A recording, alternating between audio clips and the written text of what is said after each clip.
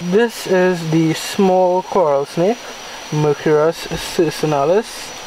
This is uh, a this is one of the venomous snakes in Trinidad. And please do not do what I am doing at home. The snake is venomous and can bite you. I am a professional in what I'm doing. So let's learn a little more about the snake. So the colors of the Trinidad coral snakes as you can see is red, red, white, black, white, sorry, red, white, black, white, red. Similarly to our national flag.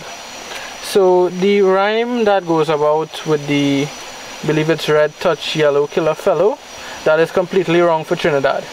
Once red touches white and then black follows, that's deadly.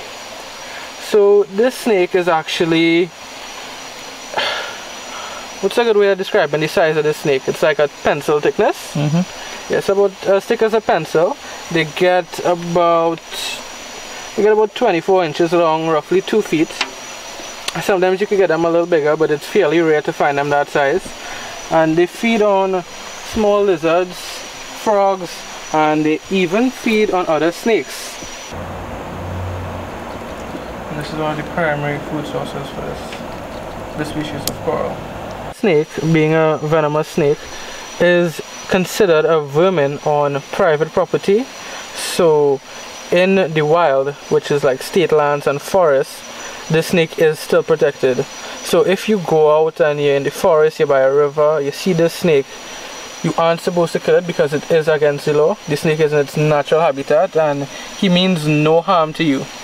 These snakes have a very small mouth and they can actually only bite a person between the webbing of their fingers or toes.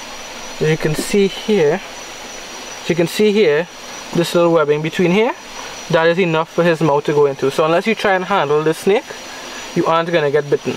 As I said in the beginning of the video, this is the small coral snake and there is also a large species in Trinidad which is, it gets about double the size of this snake and it has a similar diet but what you can notice with the colors on that species is that it's a little lighter.